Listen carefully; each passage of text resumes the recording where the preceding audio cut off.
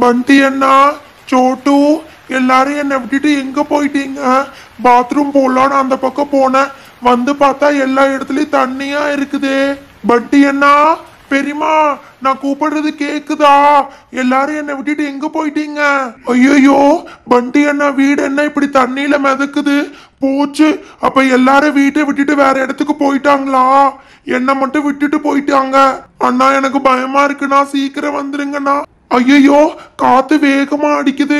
இந்த போட்டு கண்ட இடத்துக்கு போகுதே. ஊர்ல யாருமே இல்ல.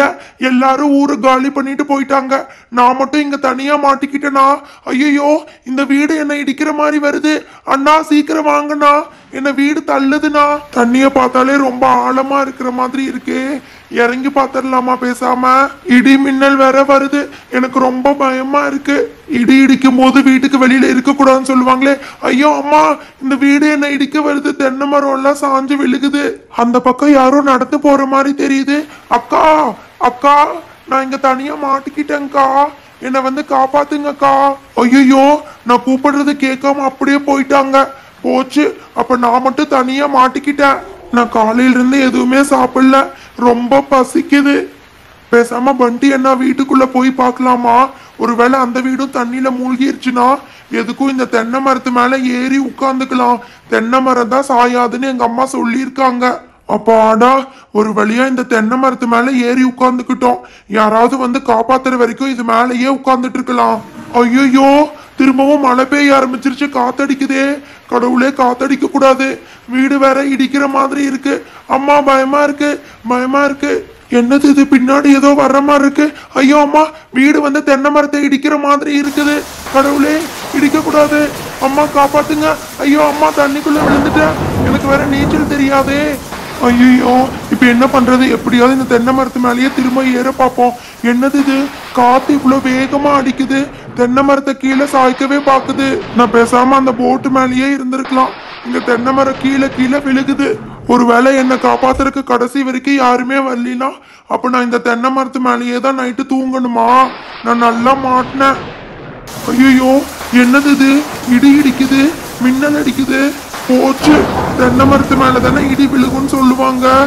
ஒருவேளை நான் உட்கார்ந்துருக்கிற தென்னை மரத்து மேலேயும் இடி விழுந்துருச்சுன்னா அப்படியே கருகிருவனே. அண்ணா பண்டி அண்ணா நான்சி அக்கா சீக்கிரமா வாங்க.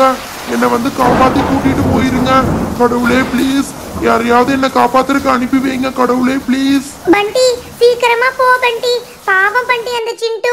சின்ன பையன் தனியா எங்க மாட்டிக்கிட்டு இருக்கானே தெரியல. நான்சி இது என்ன ஸ்பீட் போட்டா நான்சி? நம்ம நினைச்ச ஸ்பீட்ல போறதுக்கு அது பாட்டுக்கு காத்து போற வேகத்துல போய்கிட்டு இருக்கு. அதுவே எவ்வளவு நேரம் தாங்கும்னு தெரியல நான்சி. பண்டி என்ன பண்டி இது? எல்லா இடத்துலயும் தேடிட்டோம் ஆளையே காணோம். ஐயோ பண்டி இந்த போட்டு பாரு. நம்ம வெயிட்டுக்கு தாங்கவே இல்ல.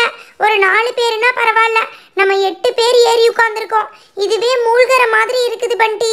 நீ சொல்றது கரெக்டு தான் நான்சி இது இவ்வளோ பேர்த்துக்கு இந்த போட்டு தாங்காது. நம்ம ஏதாவது கொஞ்சம் பேர் இறங்கி தான் ஆகணும். வேற ஏதாவது வருதான்னு பாருங்க. இல்லாட்டி இது மொத்தமா மூழ்கிரும் நான்சி ஏ நான்சி நான்சி இங்க ஒரு நிமிஷம் திரும்பி பாரு நான்சி ஒரு அங்கிள் போட் எடுத்துட்டு வர்றாரு. அநேகமா கவர்மெண்ட் வந்து மக்களுக்கு ஹெல்ப் பண்றதுக்காக போட் அனுப்பிச்சிருக்காங்கன்னு நினைக்கிறேன். அங்கிள் நில்லுங்க அங்கிள் ப்ளீஸ் அங்கிள் போகாதீங்க அங்கிள் இங்க திரும்பி பாருங்க அங்கிள் என்ன அவரு? நம்ம கூப்பிட கூப்பிட கண்டுக்காம போய்கிட்டு இருக்காரு. நம்ம போட்டு வேற மூழ்கிற மாதிரி இருக்கு நான்சி அவரை கத்தி கூப்பிடு நான்சி வண்டி அவர் திருப்பிட்டு வர்றாரு. அங்கிள் ஒரு நிமிஷம் இந்த பக்கம் பாருங்க அங்கிள் நாங்க எல்லாரும் இங்க மூழ்கிற மாதிரி இருக்கோம். இங்க போட்டை திருப்பிட்டு வாங்க அங்கிள் என்ன பாப்பா? இவ்வளோ பேர் போட்ல எங்க போய்கிட்டு இருக்கீங்க? உங்க வீடெல்லாம் எங்க? அம்மா அப்பா எங்க? அங்கிள் நாங்க இந்த பக்கத்து தெருவுல தான் இருக்கோம். எங்க வீடெல்லாம் தண்ணியில அடிச்சிட்டு போயிருச்சு அங்கிள். எங்க இவ்வளோ பேர்த்தோட வெயிட் தாங்க முடியாம இந்த மரம் உள்ள போற மாதிரி இருக்கு அங்கிள். ப்ளீஸ் அங்கிள் எங்களை அந்த போட்ல கூட்டிட்டு போய் காப்பாத்துங்க அங்கிள். எங்க கூட இருந்த எங்க தம்பி வேற காணாம போயிட்டான். அவனையும் தேடி கண்டுபிடிக்கணும் அங்கிள். அதுக்கு தானே நான் வந்திருக்கேன். சரி ஆளுக்கு எவ்வளோ பணம் வச்சிருக்கீங்கன்னு சொல்லுங்க.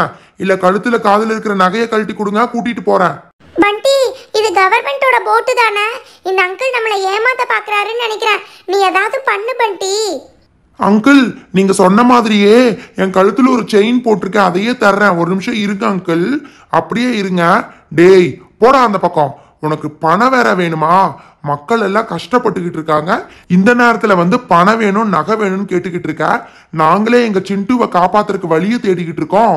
டேய் டேய் டேய் டேய் நான் தெரியாம கேட்டுட்டேன்டா. ப்ளீஸ்டா என்னையும் கூட்டிட்டு போய் அந்த பக்கம் விட்டுருங்கடா. இல்லாட்டி இந்த தண்ணியில நீச்சல் அடிச்சுட்டே போறது ரொம்ப கஷ்டம். ப்ளீஸ்டா அங்கிள் அப்படியே வெயிட் பண்ணுங்க.